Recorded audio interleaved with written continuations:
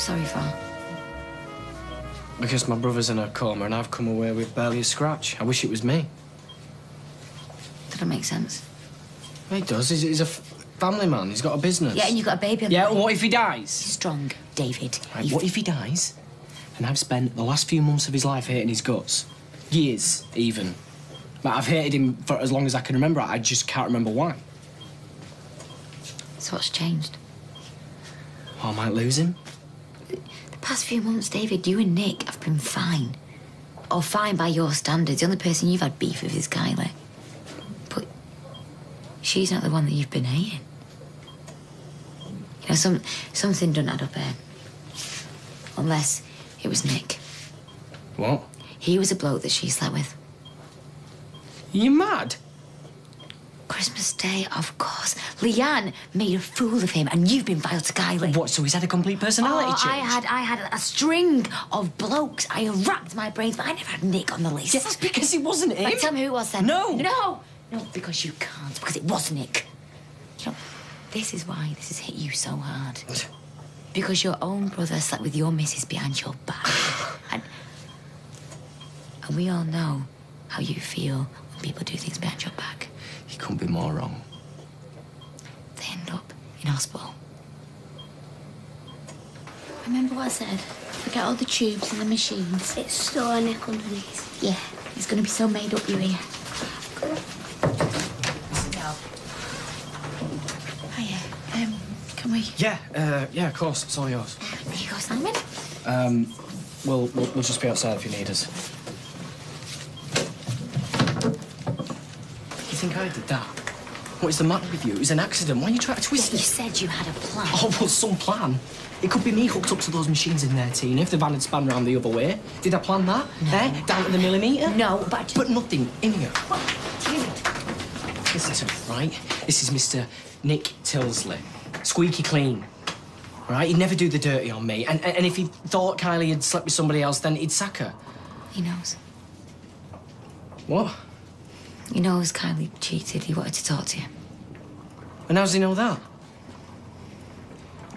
You? You were going to do something stupid. Tina, that was private. Yeah, and make them suffer. I thought I could trust you. David, I was scared. Oh, well, what? So the only person you tell is Mr. No, Perfect? Nick was worried. I'm sorry. Yeah, well, you can tell him you're sorry. Because this whole day out, this trip to the wine cellar thing, it was all down to you. It's just a scam to get me in a van and talk. Yeah, well, we're not talking now, are we? If he dies, I'm gonna die. David, I'm sorry. Get I- out. You said it was an accident. get off me, right? Get out. I don't want to see your face.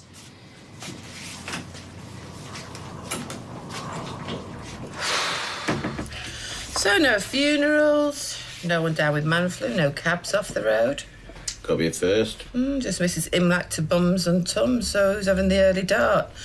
Heads or tails for the early dart? Ed. Tails. Lloyd? What have I got to rush home for, eh? The next instalment of Dancing on Eggshells. Was that a dig? No. Yes. At the bland monotony of tonight's TV schedule. You fancy a drink at the Rovers later? I clock off at five. I was snowed under here, I'm sorry. Oh, we'll manage. I'll take Jam. You don't have to. Five o'clock then. Great. It's the pub. Crack a smile. She might even throw in some scratchings. Give her a break, Lloyd. She's trying. That's the problem. We're both trying. If you love someone, it shouldn't have to be such hard work. You okay? Yeah. What's up? Um, would you just go and sit with him for a minute? Yeah? No kid should have to see that. Hasn't he been through enough? Poor kid. He just said, Wake up, Nick. Please don't die. I love you. He's always been so loyal to Peter, always. But he knows that Nick's the best stepdad any kid could wish for.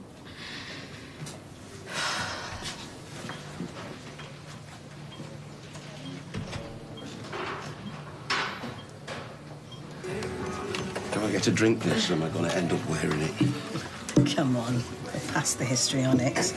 Watch as the boss and lovely entertainment. Hey, you know, if you get a can of diet, and a can of regular, and you put them in a, a bowl of water, the regular sinks and the diet floats. Fascinating. Hmm? I've got a link to it on my phone. Since you won't say it, I will. We thought we could pick up where we left off. It felt like a fresh start after Johnny, but with a safety net.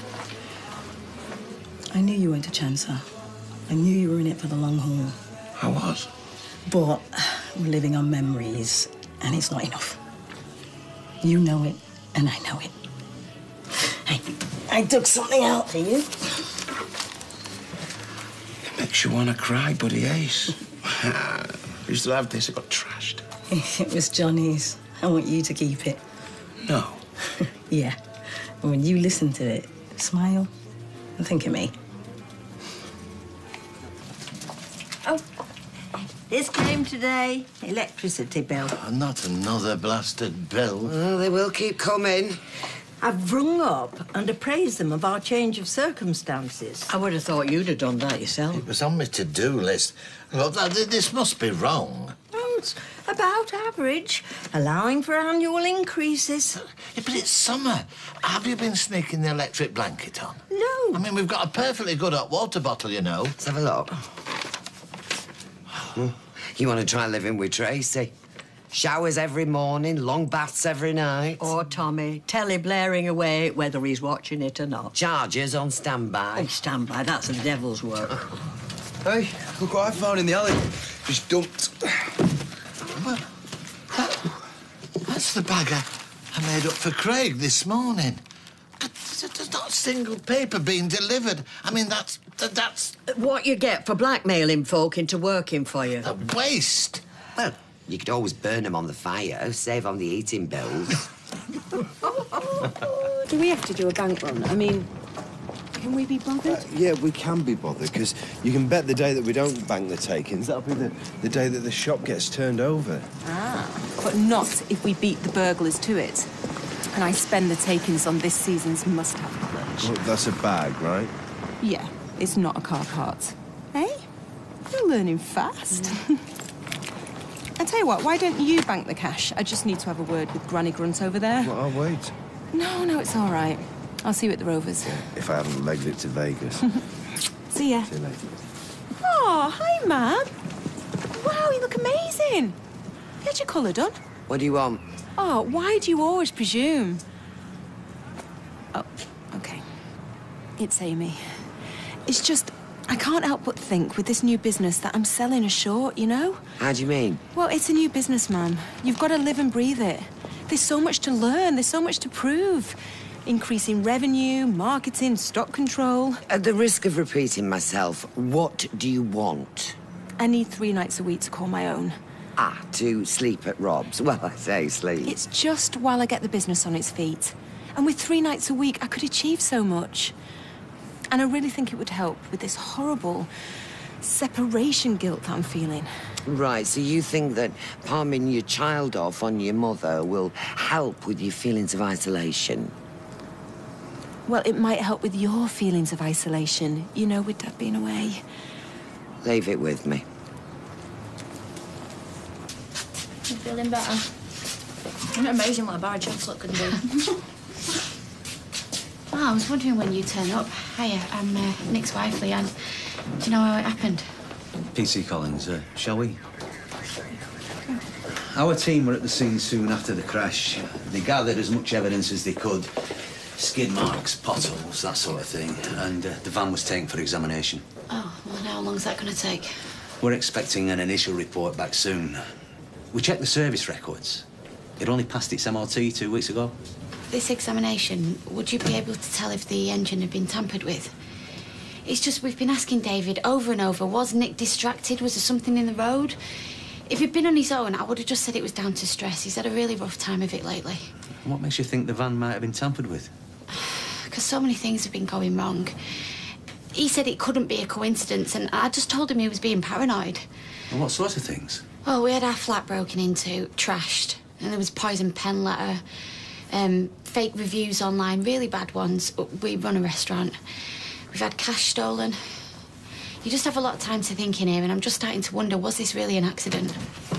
Right, come on then, let's get some ice cream. I don't think Nick will mind. Don't play with that. You burst it. What's that policeman doing talking to my mum? I think he's looking for me.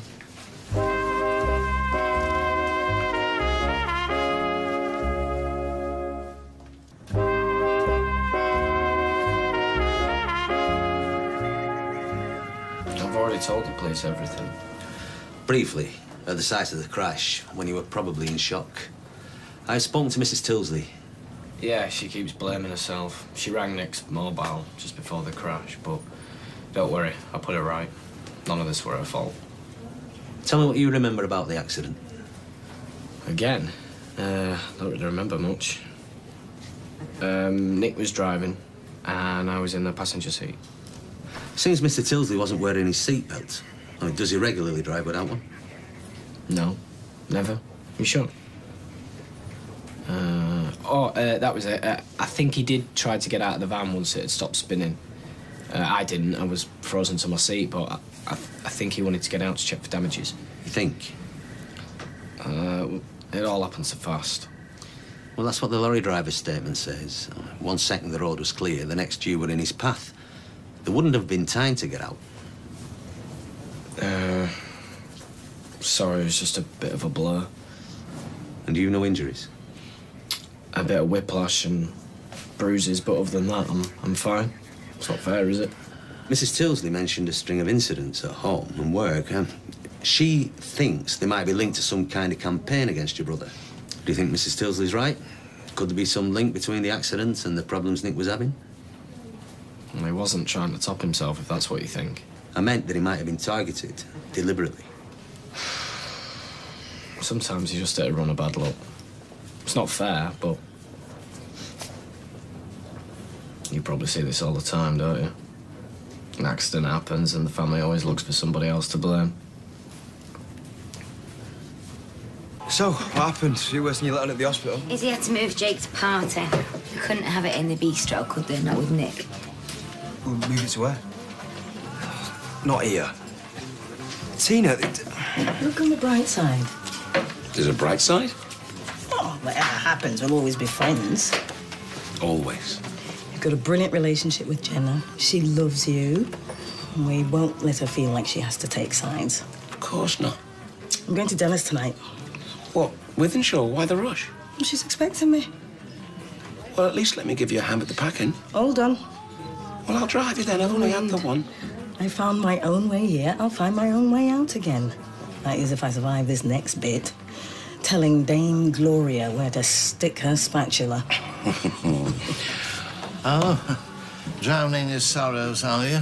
No. Well, you should be, because I've just sacked his son. It's his first day. And his last. He's bone idle. He'd be lucky if he makes it to the dole office, let alone high office. Ah, Craig. I think there might have been a misunderstanding. He committed the cardinal sin of paper boys. The news must get out. Yes, I think we should probably go. Good idea, Emily. He's well out of it. Slave labour. I've a good mind to speak to my MP. Bone idle is delicate, that's what he is. Delicate? Oh, well, don't expect a reference. But from you, Gloria. I've cooked for Robbie Williams. Oh, that well-known gourmet. He never asked me to make bread and butter pudding with fresco frugal margarine. Give my best to Stella. Now she had class. Poor Simon. He was shattered. Hmm. Well, we did right to bring him home. Well, he shouldn't have been there in the first place. Kylie. I know Leanne means well, but I wouldn't have taken Max. I bet that kid'll have nightmares tonight. And what would you have done? Just shoved it under the carpet, pretended it never happened? Will you sit down, you? You've been on pins since you got home.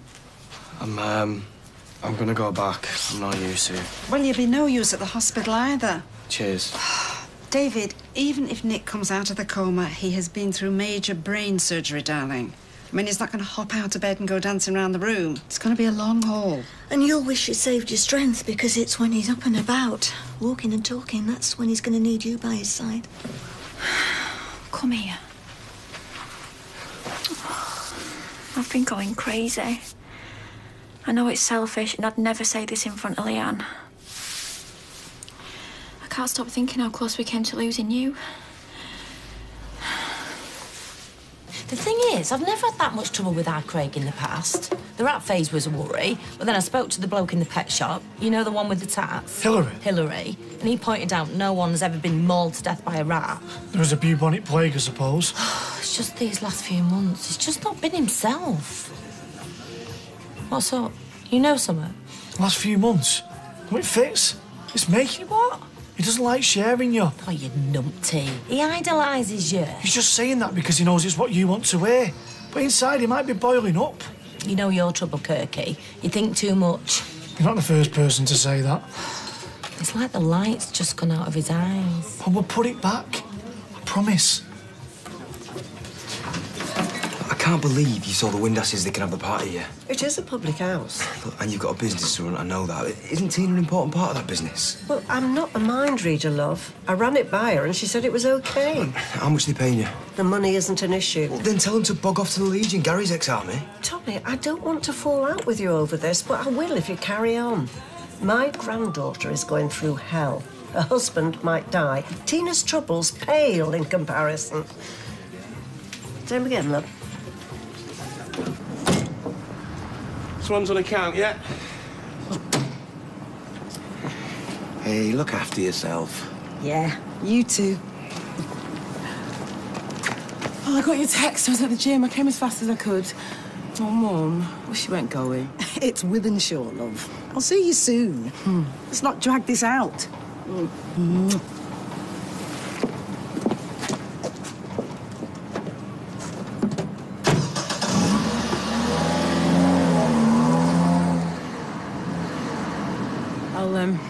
Need a few days to shift my stuff out. I, mean, I don't know where I'll go, but... Go? Are you kidding? You're the one good thing that's come out of this mess. You're going nowhere, kid. Drink, yeah? Now, your Alsatian, or German Shepherd to give him his correct title, he gets a bad press, and he might... You give me a problem and I will offer you a solution. I've sorted Amy. What? Well, Steve's always banging on about quality time, so I've kindly upped his contact and Mam is going to pick up the slack. So until you realise that you cannot live without me and my darling daughter, keys, please. Trace, I meant what I said about sharing. Eight years at HMP Hellhole was enough. Yeah, but I'm more fun after lights out. I'm serious. With time, maybe, but but not yet. Not while we're working together all day as well. Well, that's a real shame because Michelle has already taken Amy, so now I'm kind of twiddling my thumbs. Is that a problem? I might have a solution. I didn't rush. From the gym, I got your text saying Mum was leaving, and I couldn't face a long, embarrassing goodbye. It just looks like I've traded her in. Hey. I dawdled. What does that make me? Coward. Make sure your father's daughter. Come here, give us a hug. Look, whatever's happened here, she adores you. She'll always be your mum. Bless her. Hi, Sleeping Beauty. Wakey, wakey. Just shut my eyes for a minute. How's he doing? Sorry, I'm pretty sick of people asking. Oh, same, same. No news is good news. No, all the other cliches. Anyway, uh, I'm not stopping. The nurse said there's only two allowed in at a time. I just bobbed in to say you carried your weights. Good luck, Nick, pal.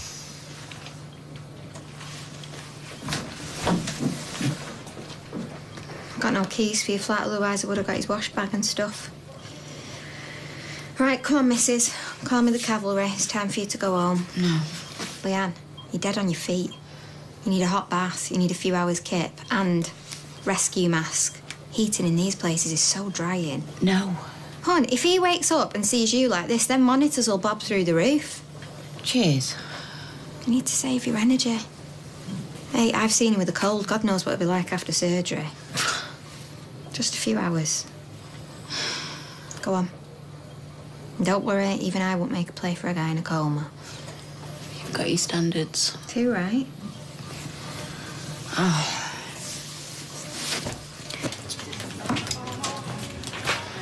So, bags packed, keys returned, gone. So she never even lived here.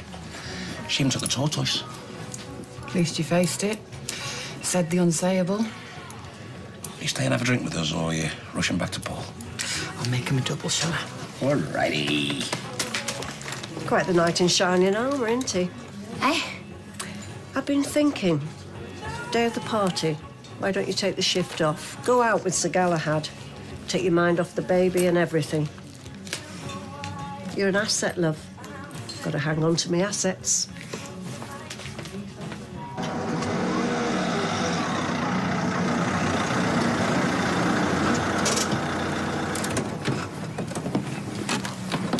Mrs. Tilsley, I was on my way to your flat. It's just an update on our investigations. All right, well, this is Nick's mum saying. You can fill us all in. It's Leanne. She's got that copper with her. Hiya, um, this is PC Collins. Oh, hello, officer. Can I um, can I get you a cup of tea? no, thank you.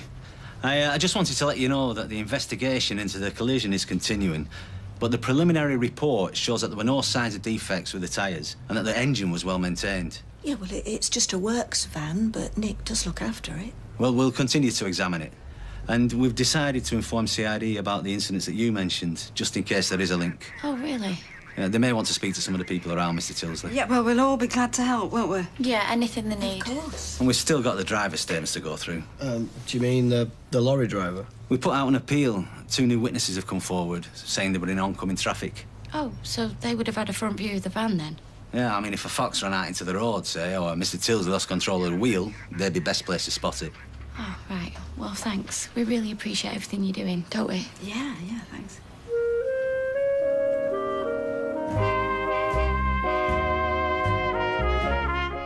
Hogwarts battles against other wizard schools tomorrow night at 7 in the fourth instalment. It's Harry Potter and the Goblet of Fire. Next, we're in Portwenn with a lovelorn policeman and a couple at war. Martin Clunes is Doc Martin next on ITV.